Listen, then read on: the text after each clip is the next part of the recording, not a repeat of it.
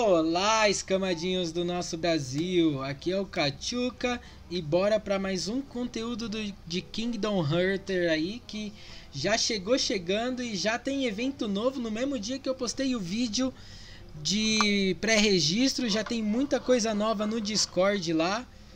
Já tá acontecendo muita coisa, já tem vídeo teaser. Então, bora para as informações que vai já tem data do CBT para você poder jogar e vai recompensar aqueles jogadores que forem melhor no CBT. Então, se você tiver entre os top 20 do CBT aí, você vai conseguir ganhar Lord Coins. Se você gostar do vídeo, deixa o gostei. Se você não gostar, deixa o não gostei. E bora de informações. Bom, aqui no site, como todos já sabem, tá tendo pré-registro. Você vai ganhar Rune Stones aí no pré-registro, que é o ativo que você faz a Lord Coin, que é o o token aí do game que você pode trocar por Emix. Então, vou deixar meu link de referência aí para vocês poderem participar pelo meu link. Agradeço muito, não é obrigado, mas quem fizer o pré-registro pelo meu link eu vou agradecer. E aí você também convide os seus amigos e bora para as informações do jogo, que é lá no Discord. Primeiro evento que vai acontecer aí, que é o evento de CBT. Fica ligeiro nisso, vai acontecer dia 15 do 6. No horário brasileiro GMT-3 ou UTC-3 vai ser às 23h59. Meia-noite do dia 15. Beleza? Então vai acontecer um close de beta aí, um close de beta teste do jogo. E aqui tá a premiação para o top 1, 2 e 4, 5 e 10 e 11 e 20.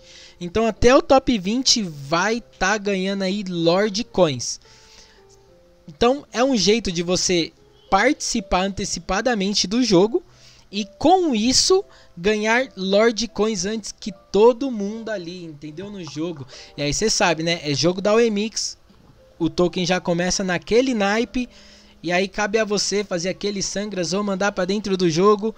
E aí a condição é sua. Então, beleza, a gente vai ter o top 20 do jogo ali no CBT. Tem algumas informações importantes aqui também, que é sobre ver o ranking. Eles colocaram a imagenzinha aqui que você clica no seu perfil e depois ver ranking, e aí você vê qual ranking você está. E aí temos outros rankings aqui que vão ser recompensados, tá? Que é ranking de colecionadores que é a quantidade de heróis que você tiver. Então o top 1 colecionador de heróis vai ter 3 lords aí, vai receber recompensa de 3 lords. E do top 2 ao 5 vai ganhar recompensa de 1 lord. Beleza? Vamos ter recompensa de lords ferozes, que é participação em batalha. Quanto mais participação em batalha você tiver, mais no ranking você estará. Então você será recompensado por isso também. Então você vai ganhar top 1 3 Lord, top 2 a 5 1 Lord. Vai ter top 5 Lords com maior int. E aí eu vou explicar o que, que é a int também, o que, que ela influencia, tá? Fica até o final do vídeo para você entender. Vai ganhar o mesmo tipo de recompensa do que os demais. Top 5 lead, que também vou explicar o que, que é lead e aí a mesma quantidade de recompensa, tá bom? E lembrando aqui, ó, é somente para o herói com maior int, tá? Ou o herói com maior lead. Então, vamos lá. Antes de ir pro próximo evento que tá acontecendo aqui, eu vou explicar para vocês o que é lead, int e algumas coisinhas do jogo. A moderadora veio aqui na nossa live e deu algumas dicas do jogo aí e como a gente está falando aí da premiação dos Top Lord, que vai ser de lead, que vai ser de de int ou do que tiver ali recompensando, eu vou explicar para vocês aqui. Então bora que eu vou ter que mostrar a tela para mostrar o chat do disco, para mostrar o, chat da live. Então viemos aqui, ó, no chat da live sobre os atributos. Vão ser três tipos de atributos: PG, int e lead que PG significa é pontos é, tipo prisioneiro de guerra, você fazer prisioneiros de guerra, lutar bastante, fazer mais prisioneiros de guerra, por exemplo assim. A inteligência e a liderança. Então, heróis com int são úteis para evolução de construção. Já deixa isso gravado. Se você focar em int, a int serve para construção. Eles dão mais XP na hora de construir. Heróis com lead, que é liderança. Vão poder liderar mais unidades aí para você fazer as suas incursões seja infantaria, arquearia, arcana, o que, que você for fazer ali de unidade para você consegue colocar mais unidades. E heróis PG, que são os prisioneiros de guerra, eles vão causar mais dano ali na hora de algum combate. Foi dito que vai ter uma wiki do jogo e aos pouquinhos eles estão atualizando ali no Discord, na aba do Discord ali, o jogo. Então você vai poder lá ir lá no Discord e ler mais sobre o jogo. Então vamos voltar aqui na aba de eventos, que aí agora a gente vai falar dos eventos de, de do CBT, que é a recompensa especial de acesso. Durante o acesso do jogo aqui, você vai receber algumas recompensas diárias, tá bom? Mas é só durante o CBT. Então eu abri aqui em outra aba as recompensas que serão. No dia 1 você vai poder invocar aí até 3 heróis comum e 3 heróis prêmio vai ganhar algumas poções. No dia 2, você vai ganhar transferência de reino prêmio, prov provavelmente é para mudar de lugar, tá? E vai ganhar mais 3 tickets prêmio de invocação. Você vai ganhar aceleração de construção, tá vendo aqui, ó, várias acelerações, aceleração de tempo, aceleração de treinamento, pesquisa, cura, persuasão. Então, olha o tanto de tipo de aceleração que vai ter. Então, dá para imaginar as coisas que terão dentro do game. E vai ganhar mais 3 tickets de invocação de herói. No quarto dia, mais 4 comum, mais 10 prêmio. Então, você vai invocar herói pra caramba. Já tem que ficar ligeiro quais os pontos de atributo e o melhor que você vai utilizar aí. Vai ganhar comida, ouro e metal no quinto dia. Mais alguns certificados que eu não faço ideia para o que seja esses tipos de certificado. Mas tem uma notícia boa aí no vídeo. Continue no vídeo. Deixa eu ver se está tudo certinho. Está aparecendo na live. A autoridade de recrutamento vai ganhar mais 3 heróis no dia 5.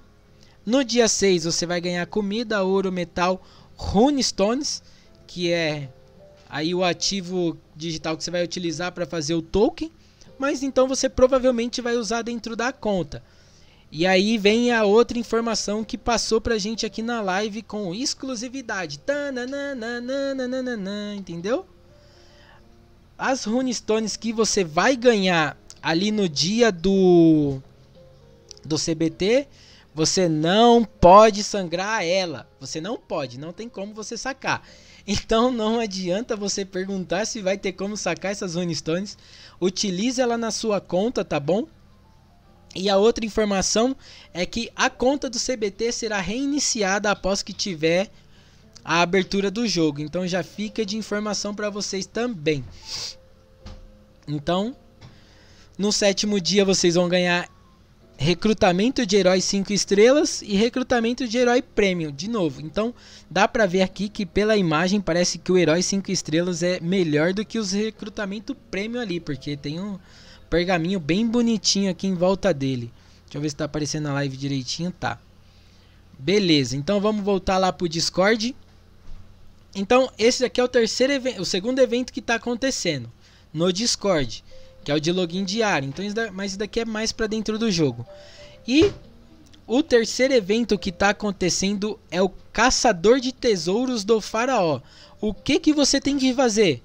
Nada mais, nada menos do que uma fanart, que é um desenho, um meme, o que você quiser fazer aí de fanart, se vestir de cosplay, sei lá, de faraó, botar uma cobra na cabeça, mandar uma foto lá e colocar isso daqui, ó, adicionar essa tag, adicionar essa tag no seu post.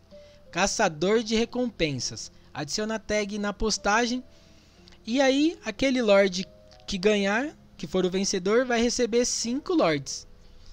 Os lords selecionados aqui, ó, tá escrito aqui, ó, lords selecionados como vencedores receberão as seguintes recompensas.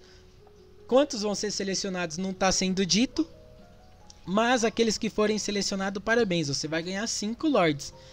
E eu nada mais justo que eu já fiz a minha fanart, eu mandei aqui na, na salinha de fanart. Eu fiz essa daqui, ó. Fiz um, peguei um negocinho do Egito antigo ali, um papirozinho, coloquei o token do jogo, logo, coloquei bonitinho aqui. Fiz um textinho, coloquei a... Não esqueça da tag, tá? Não esqueça da tag. Tem que colocar a tag. Porque provavelmente eles vão fazer uma busca por essa tag aí pra ver as fansarts. Então, coloque a tag. Se possível, coloque, curta a reação aí da minha, do... Da minha fanart aí, que eu vou agradecer muito. Beleza, esse é o terceiro evento, então a gente tem um pré-registro e três eventos acontecendo no Discord. E aí com exclusividade também nos passaram qual que é o jogo anterior aí do Kingdom Hunter, meio que baseado, não é igual, tá? É diferente, mas é um jogo base aí do Kingdom Hunter. E nos mandaram aqui o trailer desse antigo jogo. Então vamos ver o trailer aqui juntos com exclusividade.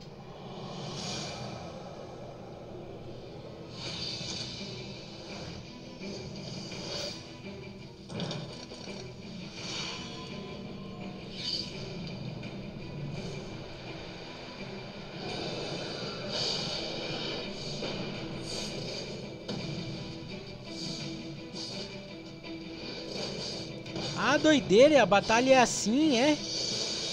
Vai aparecer na carta no meio do negócio, olha lá, ó, carta. E aí você seleciona a carta, doideira.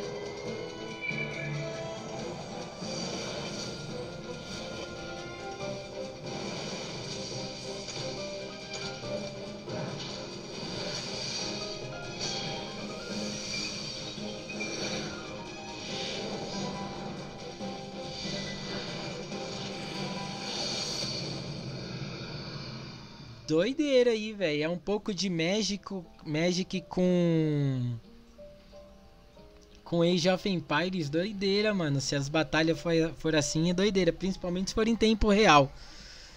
Então, trago aí todas as informações para vocês com exclusividade. E lembre-se, se possível, faça o pré-registro no jogo pelo meu link, eu vou ficar muito agradecido. Lembrem-se de participar aí para vocês terem a oportunidade de ganhar Lord antes que todo mundo, porque vocês sabem como funcionam os jogos da OMX, né? A moeda quando lança já dá aquele estralinho gostoso de sangrar, para quem gosta de sangrar aí. Vulgo eu não sei quem, eu não gosto, eu sempre reinvisto no jogo. Então, não perca a oportunidade de participar do Kingdom Hunter aí, guys. Se você gostou do vídeo, deixa o gostei. Se você não gostou, deixa o não gostei.